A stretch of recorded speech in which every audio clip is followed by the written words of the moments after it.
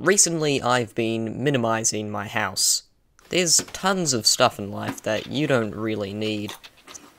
So I've just been throwing it away, or out the window for my neighbours to deal with. But this does have one problem. I throw out stuff before really thinking about what I need it for. and this has led to a couple problems. Most recently, I was looking at my left arm. Now, why do you need two arms when you can have just one?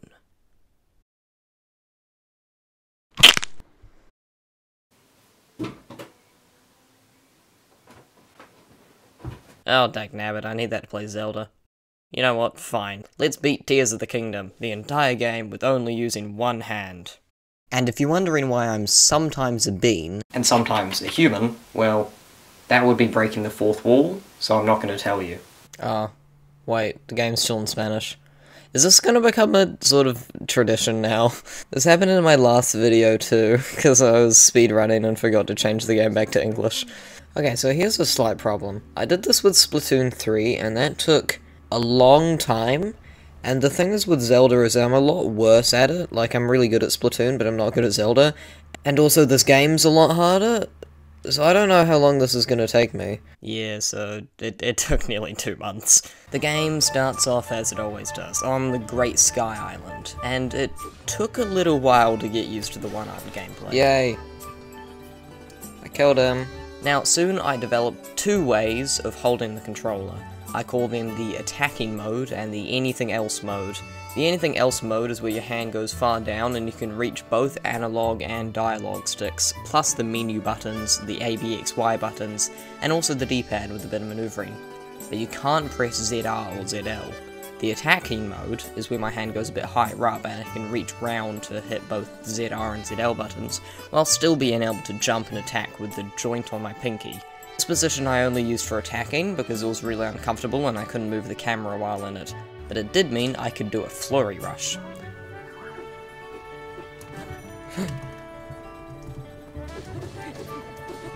I did a flurry rush. Okay, so it is possible.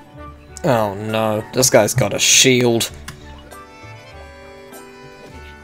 No! Okay, well, I entered the Templar time though, so it would have saved. Also, something funny I just learned. Where I'm from, Rauru, which would be pronounced Rodu, uh, it means umbilical cord. Boom. Only problem is with Ultra Hand. When moving stuff around like this, you have to press both the ZR and D-pad buttons when moving so I soon learned to hate any part of the game that used Ultra Hand. Um, that'll, that'll work. I did it. This jump. See? Perfect. I just need to get the timing right. what is Link doing? Yay. Oplo. I'm sure that is completely not how you pronounce it. Okay, made it a fuse shrine. Okay, so how will I do this? Fuse it like this. I can take my hands off that fire fruit, and then will this just automatically fire? No. Oh, but it's still fused. Oh, not anymore. Great. Let's make a boat. I made a boat. Okay, let's cook some food. I feel like I'm getting better at playing with one hand, just sort of muscle memory on where all the buttons are. that actually worked. After getting used to the controls, the rest of the Great Sky Island is mostly just quite slow and takes a bit to work through, but it's still pretty easy. Well, now you're on my seat, get off. I did it. Oh yeah, the, the game's in English now. After it, I was feeling really confident. The game seems like it was just going to take a while, not necessarily being a super hard challenge. This was not true. It only gets harder from here. Hyrule Kingdom. Ah, oh, this is about flurry rushes. There we go. Yeah, great. Now I've got the paraglider and the Sheikah Tower is activated. So now that the Great Sky Island is out of the way, the rest of the game becomes what can we do to make the final boss fights easier? Spoilers are up ahead. There are six boss fights before fighting Ganondorf, plus the four waves of the Demon King's army, and you have to defeat all of these in a row without dying once. But, each boss fight can be removed from the final lineup by defeating it in their respective dungeon, with Phantom Ganon needing all five dungeons being completed. And doing a dungeon sounds like a great idea. We get one heart container, one less boss fight during the final boss rush, and a champion friend with a special ability that can help fight during battles. Now the question is, what dungeons? I don't really want to do more than one, and the only two boss fights that would actually be a challenge during the boss rush would be the Marbled Gohma or the Queen Gibdo. As the Mukta doesn't attack well, the Seized Construct can just be pushed into a wall, and Colgera is, well, Colgera. So I decided to head towards Death Mountain and fight the Marbled Gohma, as the desert quest would just take a long time. And it wasn't planned, but Yunobo would turn out to be a very helpful asset during some of the boss fights. Got a horse, and it's got three spurs. Hmm. Didn't even need to soothe it. Okay, let's take it to a stable. Keep pressing X instead of A. it's gonna make a horse riding hard. What's my horse name? General Trot, that's your name. Is that a... Is that a panic blood moon? Why'd that happen? Okay, here we are in Goron City. I started the quest, and it has two very easy boss fights before the dungeon. You beat up Yunobo and break his mind-controlling hat, then climb up the volcano to fight Mulgarias. To fight Mo Mor Mulgar Mori Moragia. Moragia. Wait. Why isn't the cutscene starting? I don't know if I've ever been up here while the surface is still on. I must have walked past the cutscene trigger. There's just a giant big bit of malice here, or gloom. Do I have to talk to you? Oh, right, okay, that's it. Wow, a conveniently placed giant airplane. What am I looking at here? Oh, there it is. Dead.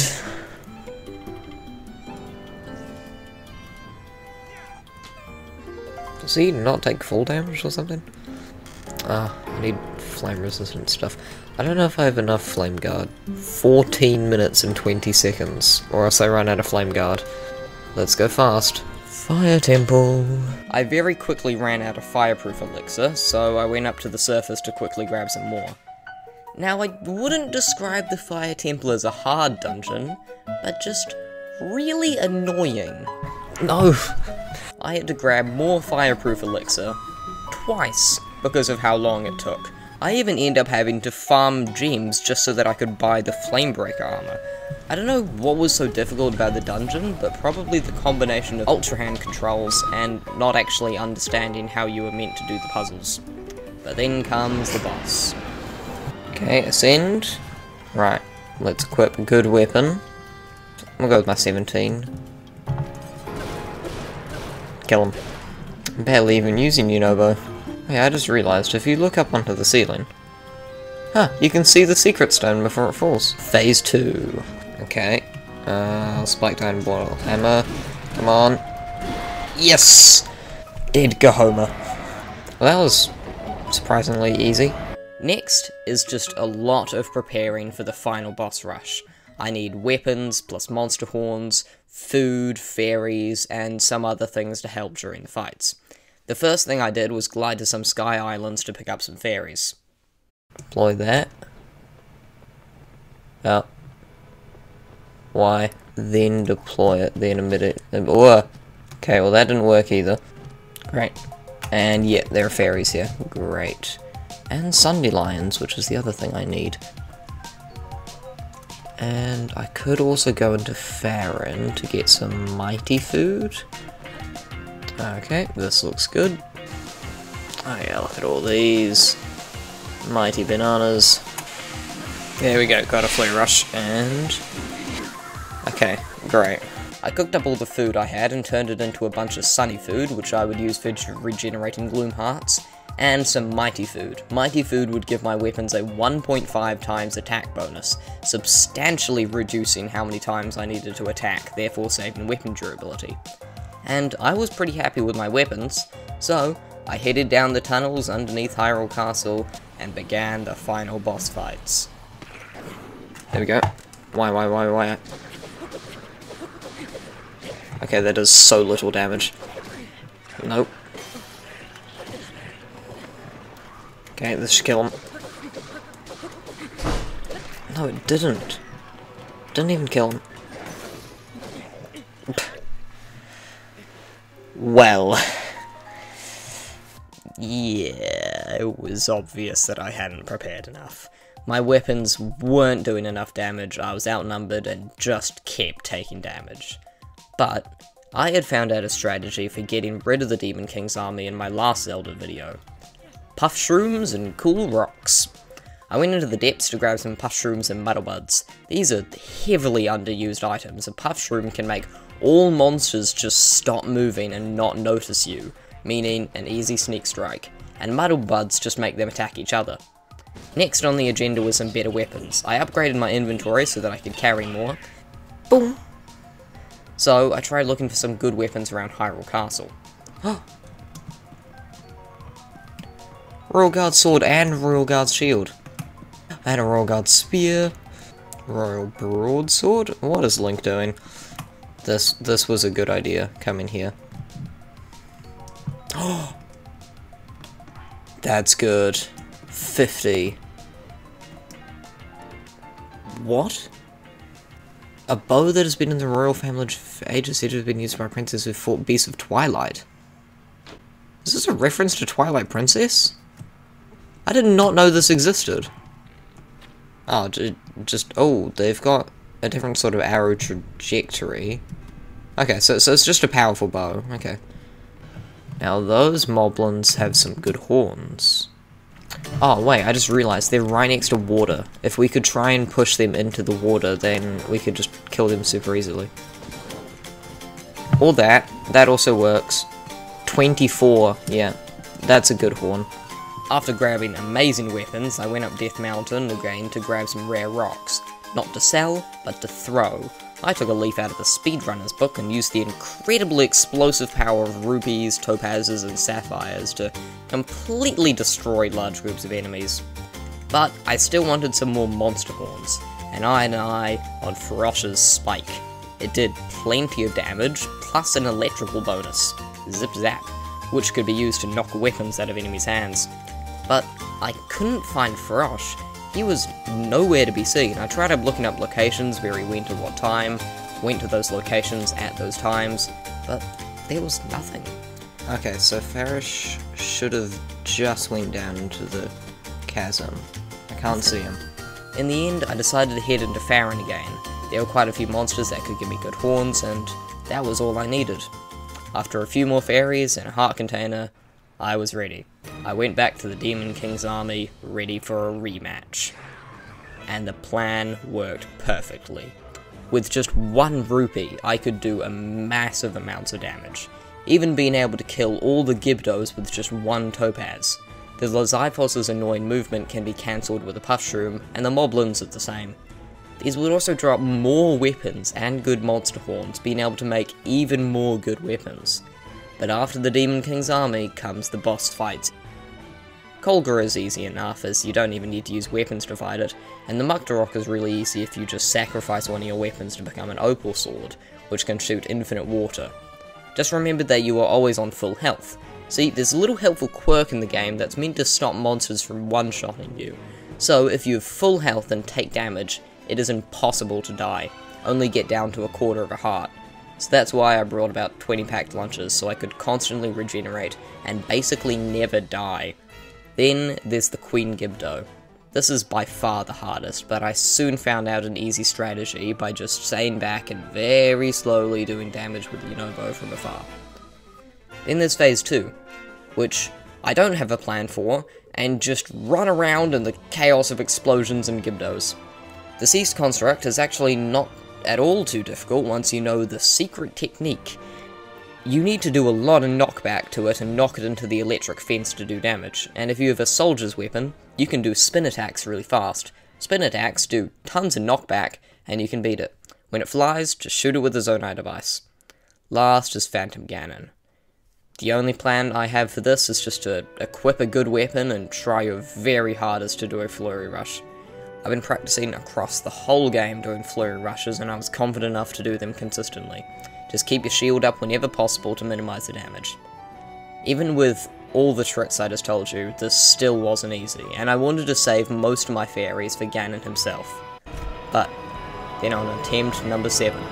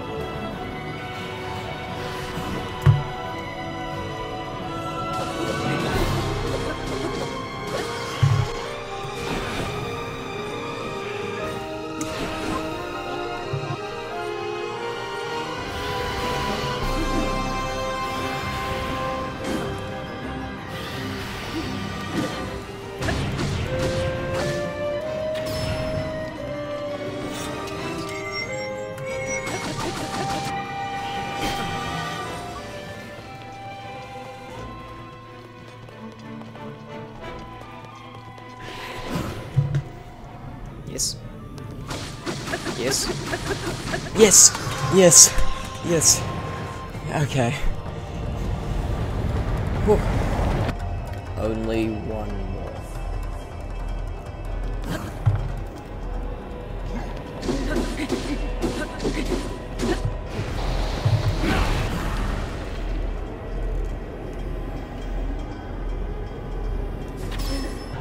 Right, phase one. Okay, but I'm sure that phase two is going to be substantially more difficult. Okay, I like his spear attack, that's really easy to flurry rush. And dude, attack up damage with a good weapon. That's doing so much damage.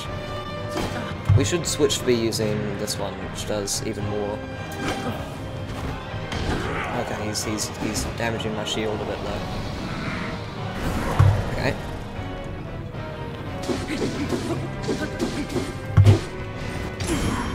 Oh, I didn't even mean to do that. That was just an accidental parry. That was actually really cool.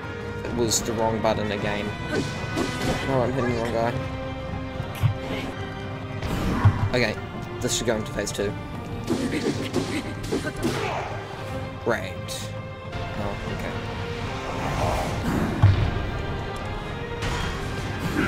Oh, he's flurry rushing these again. I got it! Okay, that immediately broke there. Okay. Yes, okay. Um, I'm running low on weapons though. Uh. Okay, fully rush. Okay, I can't get here. Uh. Yes, yes, yes, yes. Okay. Oh, that's a lot of damage. That's really good. Okay. Right, one more flurry rush, and I think that should be it. Oh, but I didn't jump in time. Okay, right. No, that was the wrong way. Uh, okay, one shield left.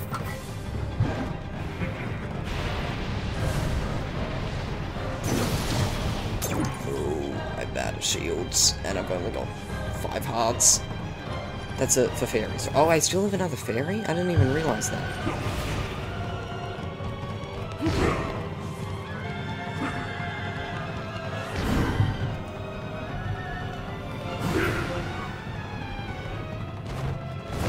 Yes, yes, yes, yes, yes. Yes! Yes!